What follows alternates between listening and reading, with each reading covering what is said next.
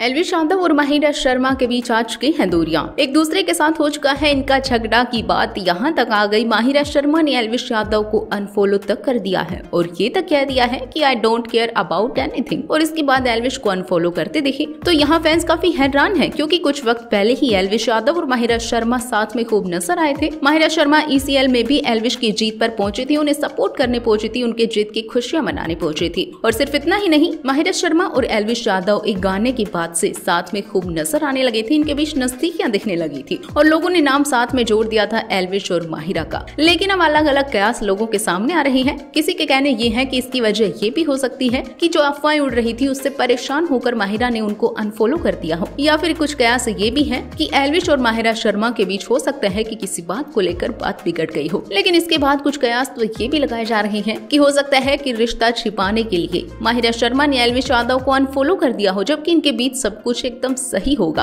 और ये बात जितनी जल्दी दब जाए, वो ही उनके लिए अच्छा है। क्योंकि खूब सारे सेलिब्रिटी ऐसे होते हैं जो कि अपनी पर्सनल लाइफ को दूर रखना चाहते हैं प्रोफेशनल लाइफ से। हो सकता है कि माहिरा और एलविश के बीच भी कुछ यही बात हुई हो। लेकिन अब ऐसे में इतनी नजदीकी आने के बाद अचानक से एलविश यादव को अनफॉलो कर देना थोड़ा सा फैंस को हैरान ज़रूर कर दे गया है। आपके क्या है कहने? कमेंट सेशन में ज़रूर बताइएगा आखिर इसकी वजह क्या हो सकती है। और इसी तरह से बने रहिएगा हमारे साथ और चैनल को सब्सक्राइब ज़रूर कर लीजिएगा।